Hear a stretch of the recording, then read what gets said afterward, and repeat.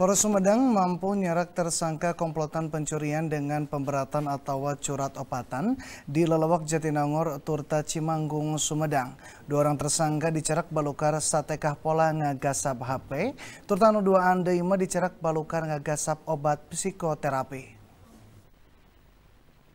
Kapolres Sumedang AKBP Hartoyo Nandesken tersangka AM turtaha ngagasab HP korban nalika ngomean kabel telkom di Desa Cikeruh Jatinangor. Modus tersangka api-api nginjem korek api turta saharita ngarampas HP dinas saku baju korban. Sanajan kitu korban gasik nangkis lengin tersangka tapi ka HP namurag. Korban oge ngagorowok menta tulung. Antukna warga seharita nyerak tersangka nalika satekah polah kabur numpak motor. Hari yang uh, bisa uh, kita lakukan, kita uh, itu perkara 363. Yang pertama TKP-nya di uh, Apotek Aliamin, tidak masuk wilayah Cimanggung dua orang tersangka dengan barang bukti obat Cipras ini kita amankan. Kejadian hari Minggu kemudian kita amankan hari Senin.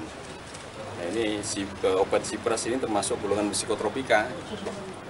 Kemudian yang dua lagi ini kejadian barusan tadi kemudian uh, langsung bisa diamankan oleh anggota sama juga kejadian curat. Uh, mengambil handphone pada uh, petugas atau pekerja Telkom yang sedang melakukan penggalian kabel telkom.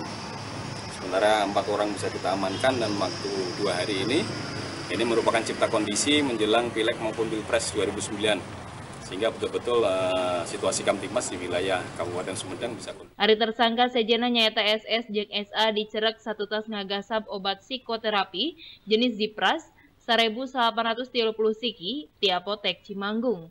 Rerancangna eta obat teh bakal dijual deui ku tersangka. Eta tersangkan opatan teh dijerat pasal tilu genep tilu kalawan ancaman hukuman 5 tahun bui. Diki Guntara, Bandung TV.